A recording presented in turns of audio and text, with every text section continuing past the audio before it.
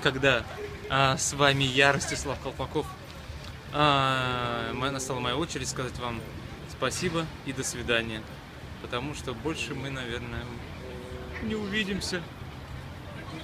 В Бале вампиров, конечно, но надеемся, увидимся в других проектах а, этого жанра.